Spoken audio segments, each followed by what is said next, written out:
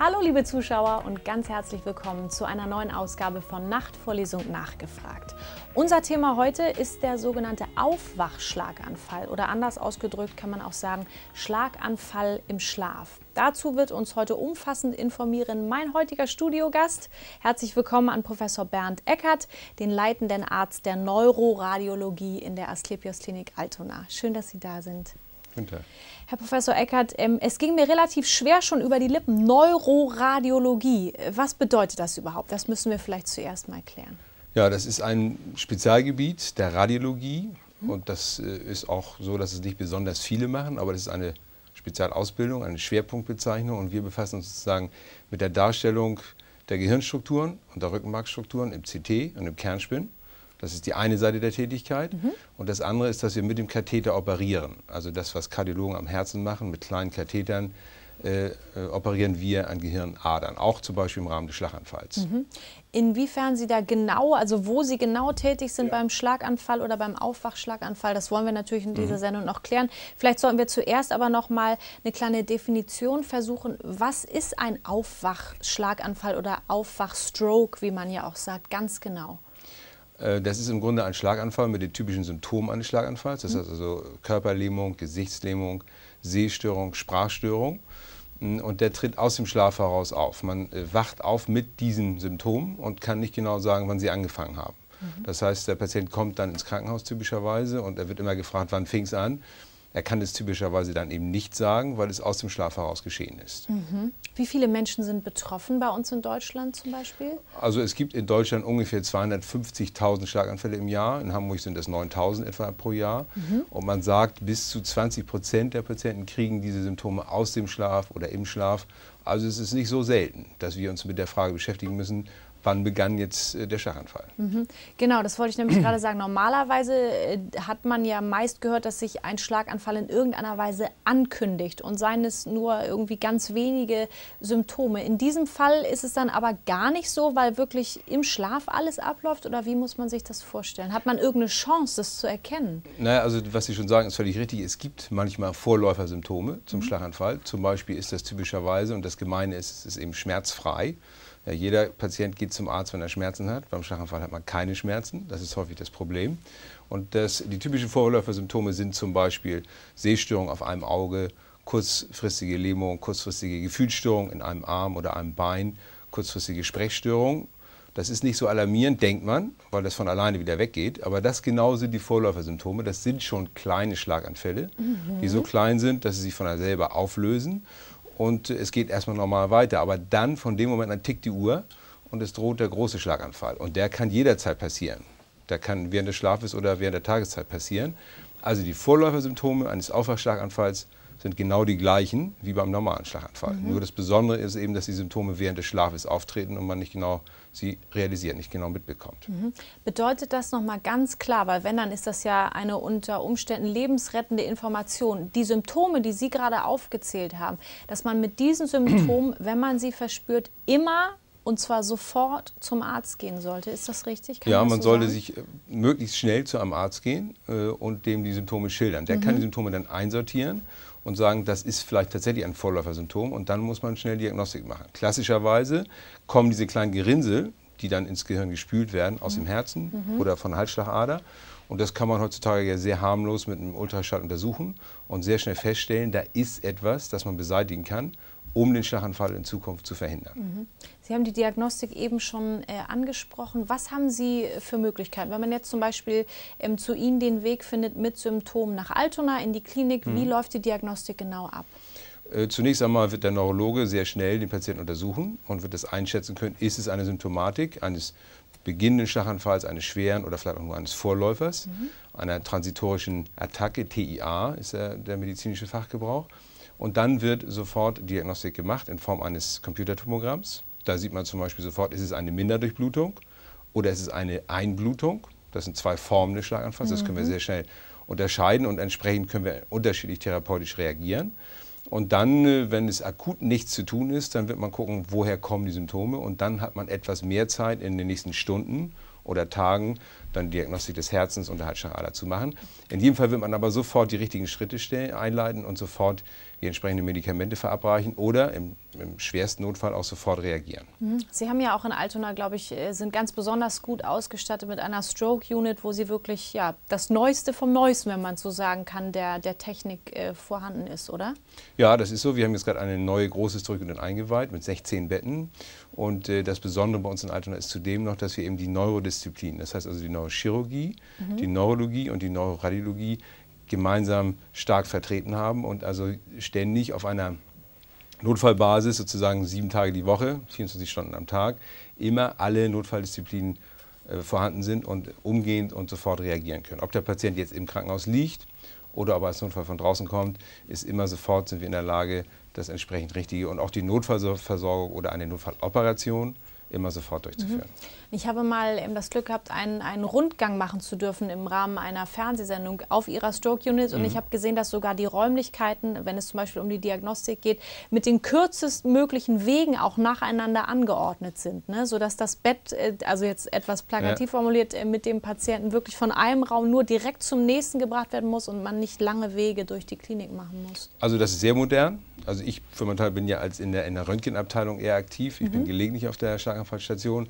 Aber ich bin immer wieder erstaunt, wie eng die Handgriffe dort ineinander verzahnt sind. Der Ultraschallgerät, das ist direkt nebenan und die mhm. Wege dort sind sehr kurz.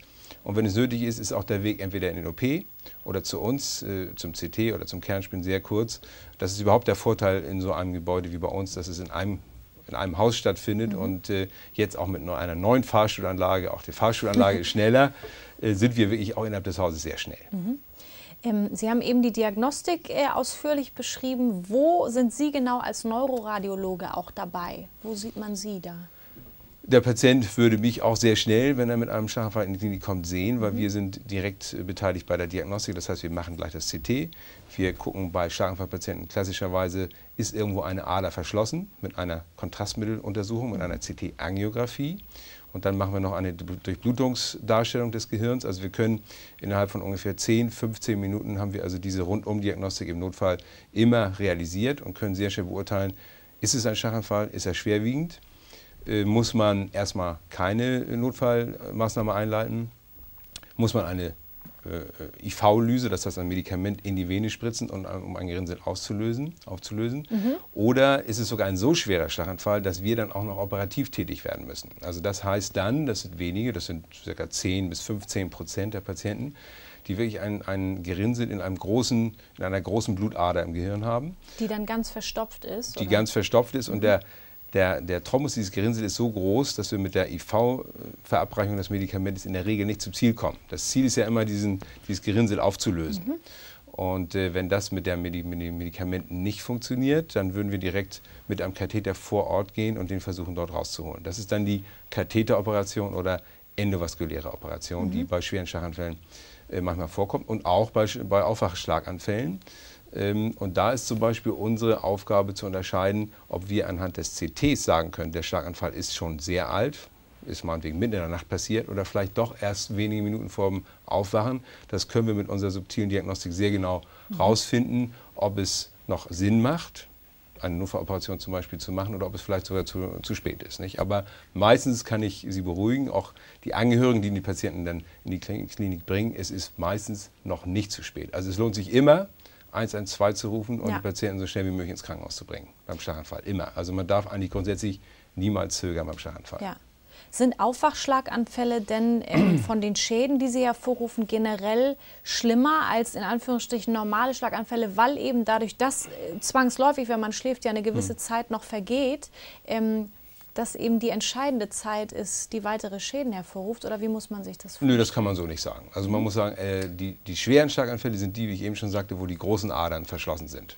Ja, und das hat nichts mit der, mit der Zeit äh, zu Nein, tun. das ist nur für den Doktor, der sich entscheiden muss, dann im Krankenhaus, macht es die Sache schwieriger. Als wenn jetzt meinetwegen die Ehefrau vom Patienten sagt, das ist gerade vor einer Stunde passiert. Dann mhm. wissen wir genau, woran wir sind. Wenn wir das aber nicht wissen, dann haben wir natürlich ein bisschen mehr Schwierigkeiten, das rauszubekommen. Ähm, und dann helfen uns aber die, die, die, die, die, die apparative Diagnostik, also das CT hilft uns äh, und die anderen Untersuchungen, dass wir das sehr eng eingrenzen können, äh, ob es zu spät ist oder nicht zu spät, wie ich eben schon sagte. Und das ist eigentlich die Schwierigkeit bei dem Aufschlaganfall, dass mhm. wir keine genaue Angabe über das sogenannte Zeitfenster haben. Für mhm. den Neurologen immer wichtig, nicht? ist es noch früh genug oder ist es zu spät? Und das, äh, da können wir dann helfen als Neuroradiologen. Was heißt denn genau zu spät in dem Fall? Es gibt ja dennoch zum Glück diverse Therapieoptionen. Zu spät, also ich rede jetzt vor allen Dingen davon, das Gerinnsel wieder aufzumachen, die verschlossene Ader zu öffnen. Und dafür ist es manchmal zu spät, wenn der Schlaganfall schon sich vollständig ausgebildet hat. Da würden wir dann im CT zum Beispiel sehen, der Infarkt ist schon vollständig da. Hm. Und da können wir eigentlich nichts mehr machen. Selbst wenn wir das Gefäß aufmachen würden, würden wir dem Patienten damit nicht helfen, sondern wir würden ihn sogar einer Gefahr aussetzen. Das müssen wir okay. eben in der Zeit dann rauskriegen, weil jeder Eingriff auch natürlich immer ein Risiko hat.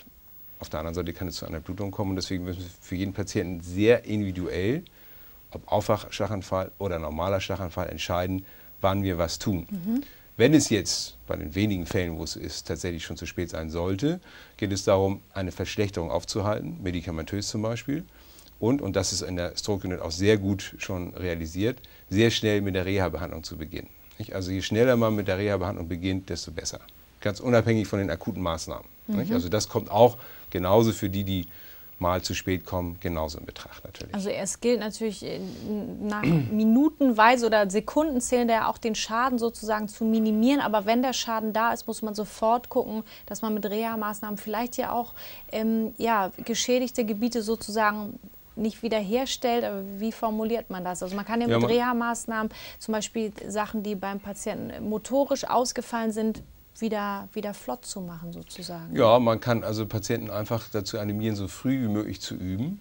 Mhm. Und je eher man mit diesem Regenerationsprozess beginnt, nicht, das ist sozusagen sowohl was die Motorik angeht, als auch was das Erlernen der Sprache angeht, je eher man beginnt, desto eher ist einfach der, sind die Neuronen, also die Nervenzellen, die nicht geschädigt sind, in der Lage, die Arbeit von den Neuronen, die untergegangen sind, zu übernehmen. Mhm. Ja, und das ist äh, frühes Training und anhaltendes Training. Man kann die Patienten, und das ist wichtig, denen zeigen, wie sie es machen sollen. Und dann ist es auch immer noch sehr wichtig, wie groß die, die, der Eigenantrieb des Patienten ist. Der ist entscheidend. Ja? Und da zählt natürlich auch die Stimmung.